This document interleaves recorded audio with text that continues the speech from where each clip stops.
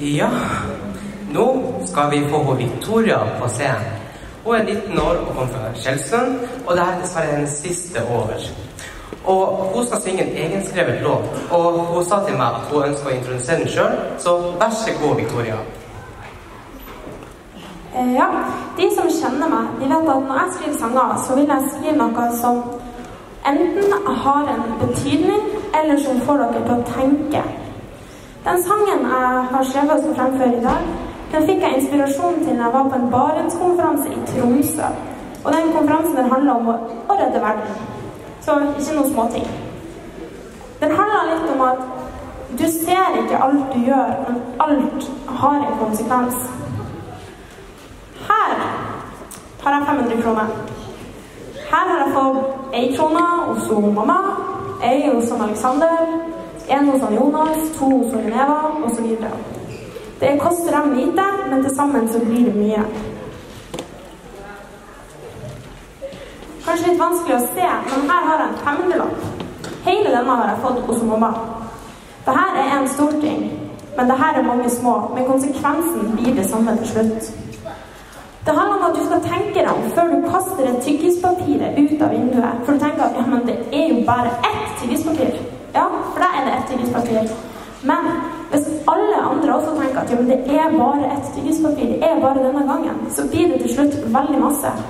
Så tenk deg om før du gjør de små tingene. For alt, uansett hvor lite eller stort, har en konsekvens. Du bare vet ikke hva konsekvensen er.